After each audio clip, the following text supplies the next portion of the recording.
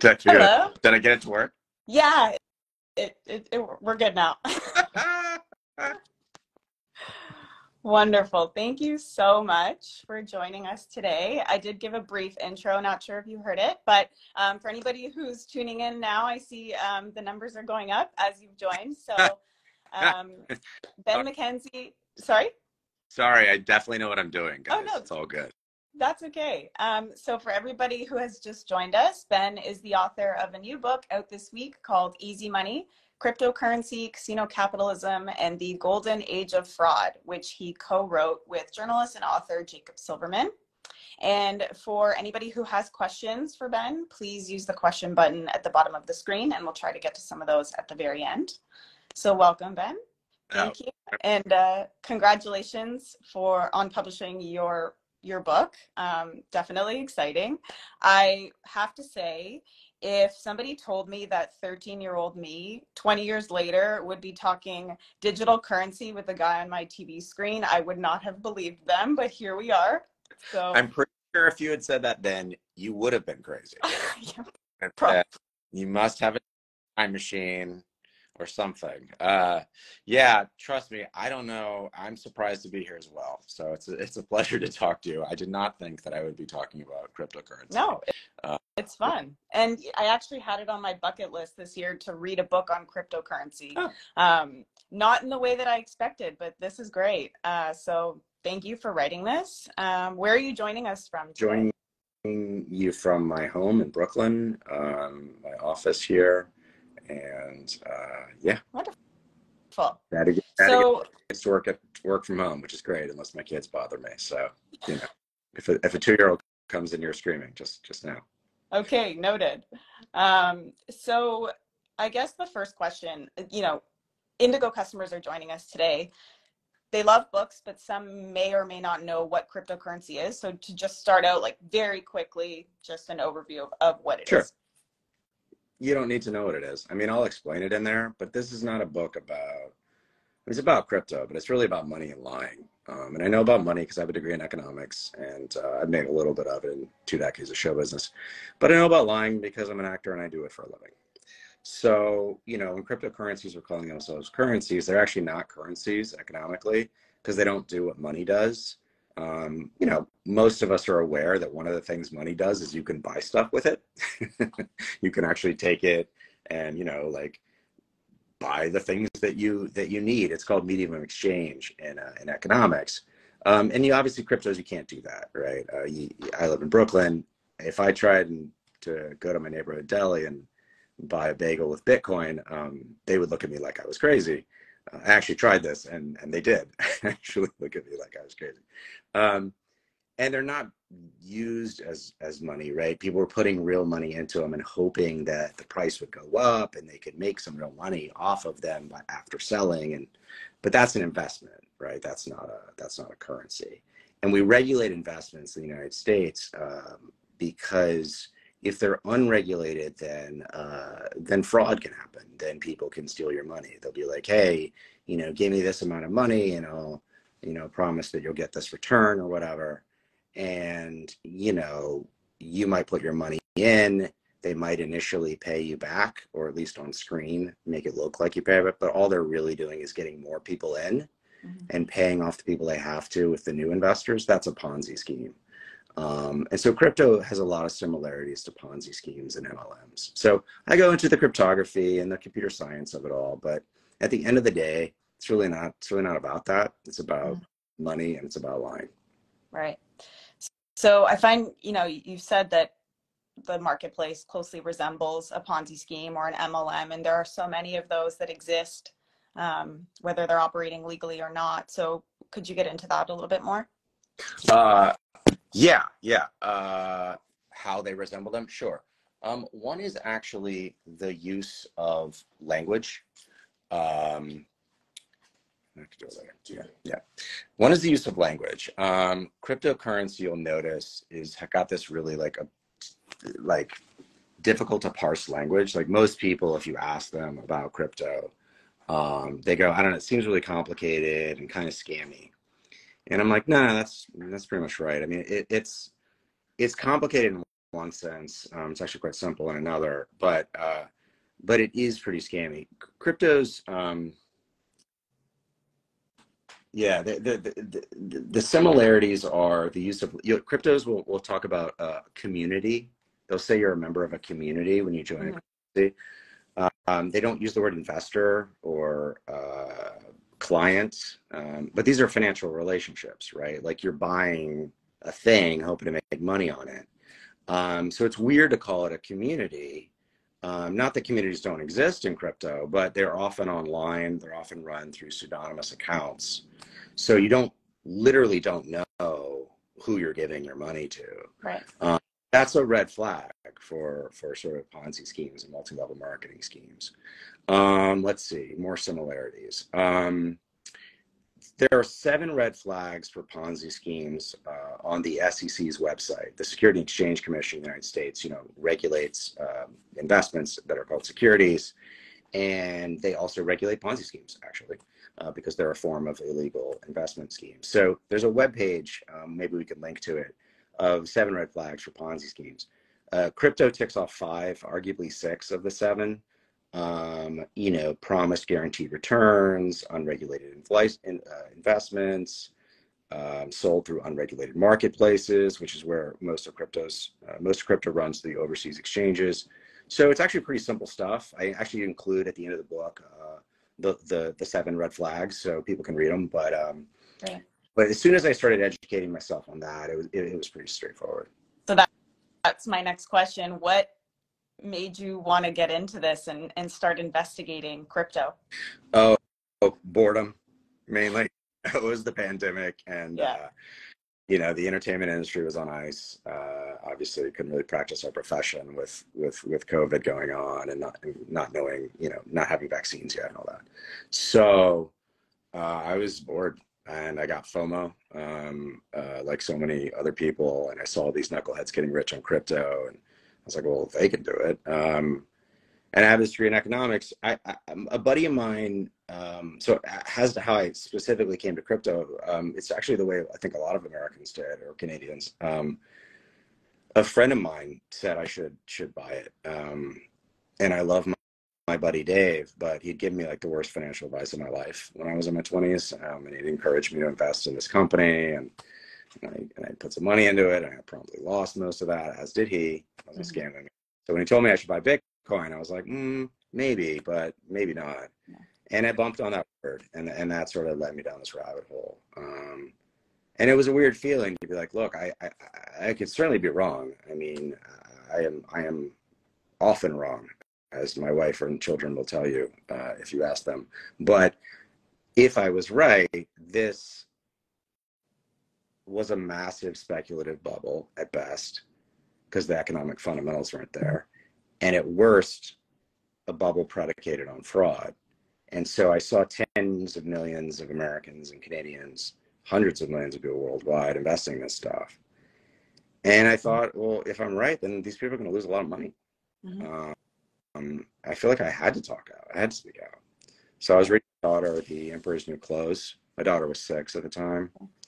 And um, I remember the gist of the story. Uh, you know, these tailors trick the emperor and the courtesans and the whole all of the adults into believing mm-hmm. that these imaginary clothes that they weave are real. And the way they do it is by saying that only the smartest people can see these clothes, only the people of highest station. And so the con is ingenious because it's just an appeal to, to ego and to status worship. Um, and so adult after adult is tricked into believing in it for the simplest reason of all. They don't want to appear foolish.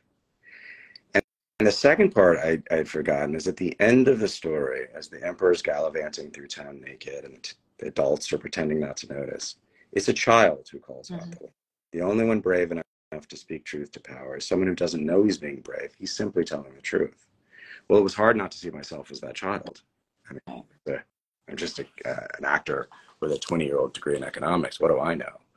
Um, but then again, what if I was right? Um, yeah. And I felt like I had to speak out. So I reached out to a journalist and we started our investigation. It's fun. Yeah. Um, so there's a few, you know, the more popular coins, Bitcoin and whatnot, but there are hundreds and hundreds, I would say, of others. So, what are what's the issue with that? Yeah, there, there are thousands. Thousands. There okay, there you go. Technically, I don't know exactly where the number is now, but it's like twenty thousand or something. Wow. Yeah, which is like, come on, these are currencies. Give me a break. Mm-hmm. you know what I mean? Like, yeah, like we're, we're clearly not talking about currencies. We're talking about investments. Um, yeah, well, well, one fun fact is if you think of them as securities, which I do because they they they are securities in terms of how they function. Um, Bitcoin's been classified as a commodity, and I go into the reasons why in the book, but it's it's very mm-hmm. nerdy boring, so I won't do it now. Uh, but if you think of them as securities, then the 20,000 unregulated and licensed securities that are the cryptocurrencies is more stocks than exist on our regulated marketplaces, the major the major exchanges like the NYSE and Nasdaq. It's more. Mm-hmm. it's really amazing. So these are the functional equivalent of uh, penny stocks, which are like cheap cheap stocks that are being traded on um, uh, you know, on these sort of smaller exchanges. The ownership of them is highly concentrated. There's very few people that control the supply of crypto, uh, of these cryptos usually. Like sometimes as few as like 10 people. Um, but but you don't really necessarily know that because um, they can manipulate the market via wash trading, basically setting up uh, a lot of different.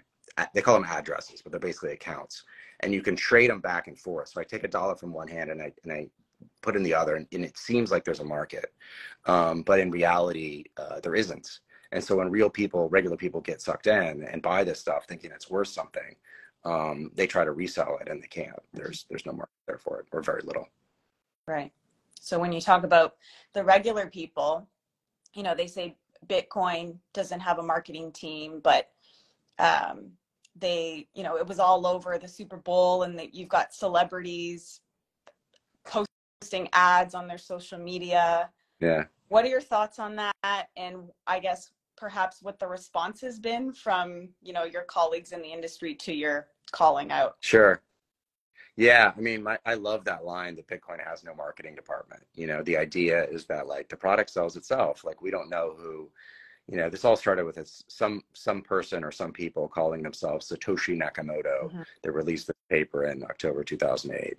Um, so we don't know who started it, and um, so Bitcoin has no marketing department. Um, well, that's really funny to me because what crypto really is is just a story, or rather a collection of sometimes overlapping stories that form an economic narrative. Um, Robert Shiller is a Nobel Prize winning economist who's talked about this. And they, they form in response to real things. So the, the Bitcoin white paper that was released in October 2008 um, is a response to the subprime crisis, or at least supposedly. And banks were even more unpopular than they usually are, and uh, people were very distrustful, and I understand why. Uh, and so this story had a certain salience, like it it it it, had, it resonated with a lot of people because we could agree on the premise that our regulated system, you know, sucks sometimes, often. Mm-hmm. Uh, and Bitcoin said we could solve that. And then uh, it didn't really take off initially, but then eventually all these other cryptocurrencies were formed. Um, some of them based off of the Ethereum code. And the story evolved into basically crypto could solve anything. You know, it was marketed as a way to bank the unbanked, build generational wealth. It was going to democratize our financial system. Um, you know, so it was all of these different stories sold by some of the most famous people on mm-hmm. earth and targeted to particular communities. You know, the Black community was targeted as a way of uh, building generational wealth. Um, banking the unbanked was targeted towards people in other countries that didn't have banking services. Um, but unfortunately, those stories aren't true. I mean, that's the that's the blunt reality. I'm sorry to be the bearer of the, you know the bad news, but I document in the book. Like I went to El Salvador, where it was built as a way of banking the unbanked and being used for remittances. It's not. Um, I, you know, looked at the statistics. I talked to people. Most people who buy crypto lose money. Um, some people win, of course, but you know, it's like Vegas. It's like, you know, of course you can win in Vegas, but if you lived in Vegas and you played every day, of course you're losing because how else do they keep the lights on? Um, so as for my celebrity, uh, my dear good friend celebrities, I don't know these people. Like there's like this myth, not that you believe this either, but like this is sort of like assumption that like we know each other and like, you know, have our weekly celebrity meetings. Like I, I don't know them. Um, I mean, I know some, but I don't. I don't think I know any anyone very well who specifically hawked them. Um, you know, it's unfortunate, and I started by calling that out because I felt like, um, quite cynically, it would get some attention. I could break through the the sort of the um, at the time in 2021, you know, crypto just wanted to sell you on it, like just buy, buy, buy, and I had to cut through the, the mess. So I used that, um, but I don't bear any ill will towards them. Um, I think they shouldn't have done it, you know, and it would be nice if one of them apologized for it. But um, um I think their lawyers are probably advising them not to because it could like make them liable for it. So yeah. a really long answer to your question, but no, that's great. No, no, super interesting. Uh, you briefly mentioned El Salvador, and I'm curious to hear a bit more about the trips you took. I know you went to South by Southwest as well um, as part of your research. So maybe just talk a little bit about those, those sure. trips. Yeah. First in-person thing was South by Southwest, which is a big, uh, you know, music, film, tech conference in my hometown of Austin, Texas. So that was fun. Uh, I went home um, to uh, to uh, nominally to to do this panel on crypto skepticism with Jacob Silverman, who I wrote the book with, and, and another reporter for for Vice. Um, and that the the the presentation itself was more or less a disaster. Like I was like, yeah, a ton of people are going to want to hear this message. Uh, got this huge room, like nobody showed up. It was like a few OC fans, my daughter who I dragged there, who fell asleep during the presentation, and my parents. Um, but I did have some fun there, and I, I met this guy Alex Mashinsky, who's the CEO of was the CEO of a crypto company, Celsius. Um, he's now been um, been charged with fraud. He was arrested uh, last week. Um, I visited the biggest Bitcoin mine in the country, which is in Rockdale, just outside of Austin. Anyway, so I, oh, and I got drunk with some guys that said they worked at the CIA. Um, so that was uh, yeah. There's an excerpt in Rolling Stone if you want to read about it, uh, or just buy the book. That was the first thing. Then there was uh, the Miami Bitcoin Conference, which is uh, claims to be the biggest Bitcoin conference in the world. And I interviewed regular people, and I I interviewed some of the leaders of the industry, just trying to kind of understand like what it was about, you know, because I because I was still trying to test out my thesis. Like I think it's seems really mm-hmm. scammy and fraudulent, but like all these people believe in it. Like why do they believe it? I'm genu- genuinely curious. Um, and what I learned there is that crypto can kind of be whatever you want it to be. I mean, because it's a story, it can kind of just be sort of like a projection of all of your hopes and dreams and desires. It's like, it's going to do this for me, it's going to do that for me. And for the most part, it's, it's going to make me rich. I mean, that's why most people, right? but but they would have their different reasons for it. Um, and then I went to El Salvador, the only country in the world that's trying to use cryptocurrency as real money. Spoiler alert, not working. And then I interviewed Sam Bankman-Fried uh, in New York. Uh, and then ultimately, I testified in front of the Senate after Sam was arrested, and the industry was, um, you know, viewed somewhat differently. And I and I tried to express um, my findings both in my written testimony and, and in my, the five minutes I was given to mm-hmm. speak. Mm-hmm. Wow. One of the things that freaks me out the most, I think, is you know you can have cryptocurrency in a wallet or some sort of place, and then you misplace your password, and your entire life savings or you know all your retirement is just like poof gone you can't even access it um, and i know you speak to it a few times i mean it's a common theme throughout the book that lots of people have uh, regular people have lost a lot of money just trusting in this in this system so um, can you speak a little bit about that? Yeah it's really you know it's pretty rough. I mean I, will tell i tell a story at the end. The book is very fun yeah. i think approachable. I think it's fun. I try to be funny and yeah, you know, I, I did my best, um, and and and just say it plainly and simply, so that it's not like um, too much of a chore or too confusing in terms of the crypto, uh, the way crypto works. Um, but I did have to tell a story at the end. I felt to to to illustrate what the stakes were with the victims. So I tell a particular story. Um, yeah, so crypto will say that uh, yeah, people lose their keys in crypto all the time uh, crypto exchanges shut down all the time, usually because they stole your money. Um, like seriously, it's hard to point to an exchange that's that that like hasn't done it. It's, it's easier to point to ones that have. Um, and so fraud is just sort of rampant. What crypto says is, uh, yeah, everyone has to take responsibility, and you know, it's called DYOR, do your own research. And if you get scammed or defrauded, you know, it's unfortunate, but uh, it's a learning lesson and, you know, you won't do it again the next time. And for the most part, uh, almost everyone I talk to on crypto, most people at least, would say, would just openly say, yeah, I got scammed, but, you know, learned, blah, blah, blah. Really weird, right? I mean, if, if it was your bank account and you lost your password and your bank was like, yeah, sorry, yeah. lost all your money, like it could be a weird thing. So I was like, I couldn't really understand it for a while. And then I started reading about fraud and how it works and how con men work.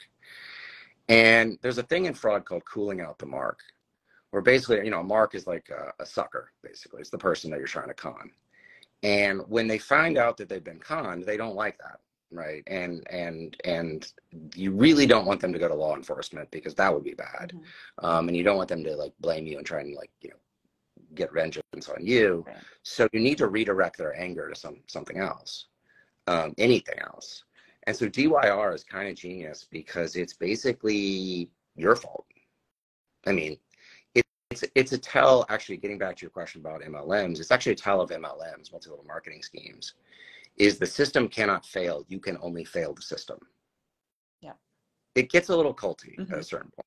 You know what yeah. I mean? It's like, yeah, yeah, yeah, it doesn't work now. Yeah, yeah, yeah. A ton of people have lost money, and people lose money for the stupidest reasons, like they literally just can't remember their their their password or whatever. Um, but you know in the future you know we just need more people to give us more money right now and then it'll definitely work in the future i mean you know it gets pretty weird um, but but it's it, it is really genuinely predicated on just kind of like a i'm not saying that the people that buy it intend to to to, to scam others i mean the vast majority of people who bought crypto are totally good normal regular people um, but unfortunately like it's that saying in vegas you look around the table and you can't spot the sucker guess what you're it yeah it's rough, dude. But you know, mm-hmm. gotta gotta say it. So that that that that's kind of my take on um on uh, on how that works, unfortunately. Now, I think I may already know the answer to this, but do you have any thoughts on the uh, the virtual worlds, Decentraland? Those... Yeah, I read some weird article that like is it the metaverse or whatever? There was like five people playing it or ten people playing it or something. I thought it was hilarious. I mean, to me, it was just like looks like the world's worst video game. Like, I don't even play video games that much anymore. I mean, my kids do, and they are awesome these days, like the real ones. But um, it just looked like these. It was like in like Zuckerberg. So I was like, what? This looks terrible. And then they were trying to convince you that like, you know, the web three metaverse thing is like it's also like give us money and buy these like coins or in-game currencies in order to like you know live in these worlds and I mean, from gamers that I've like, you know, heard about and talked to, like, they don't like it. They're mm. like, stop it. Stop trying to like, it's called play to earn, you know, it's like you're going to play the game and earn money by like creating smart button. A lot of gamers like, dude, just stop. Like, give me, let me play video games in peace, you know, um, because it's a way for them to make money, um, you know, from you. Um, uh, yeah, it's a very weird world, but yeah, I think versus like and obviously the metaverse now now people don't talk about it you know now it's like uh, all of a sudden the the bros are, are pivoting to ai because uh, because metaverse is not a thing um, even meta itself actually you know is like now now they're now they're ripping off twitter or trying to replace twitter with threads but you know all of a sudden they're not really talking about, uh, mm-hmm. about metaverse as much Interesting stuff. Um, we have just a couple minutes left, but I'm curious, what are you reading now, or what have you recently read that you loved? Ooh, that's a good question. What do I have here? Oh, well, no, that's not.